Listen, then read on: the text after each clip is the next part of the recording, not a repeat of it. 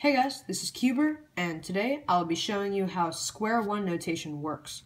So I wanted to make this video for a couple of reasons. My Pyraminx notation video did really well, and also square one notation really confused me when I was newer at cubing. So let's just jump right into it.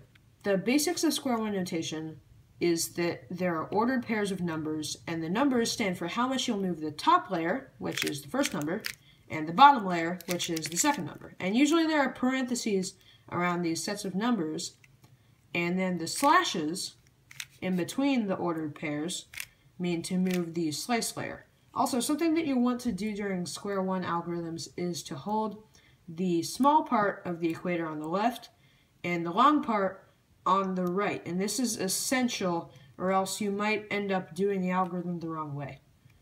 So basically, each edge is worth one number and each corner is worth two.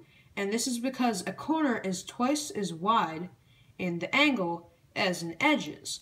And basically this way, no matter how much the puzzle shape shifts, the each side, each uh, the top and the bottom layer will each add up to 12. And this makes the algorithms easy to write.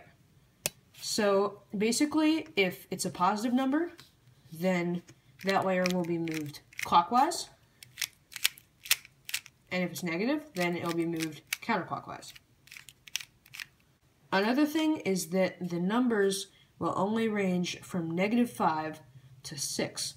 And basically, negative 5 would be negative 1, negative 2, negative 3, negative 4, negative 5, and then 1, 2, three, four, five, and then six, which is a 180 degree turn. So negative six is basically the same thing as six.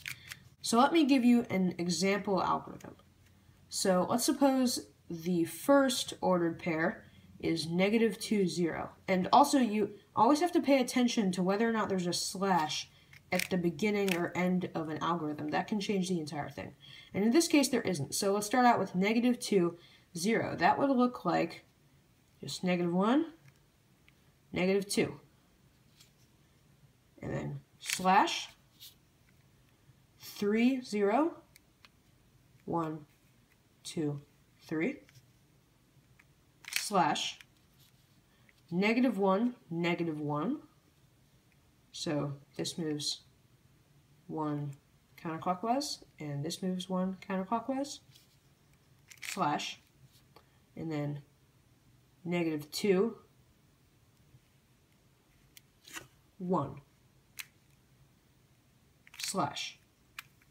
And that is an EP algorithm for square one. So I hope that this really helped with square one algorithms, and if you have any problems with square one notation, then just ask a question down in the comments and I will try to answer it as best I can. So thank you for watching. If you liked the video, don't forget to subscribe and I will see you next time.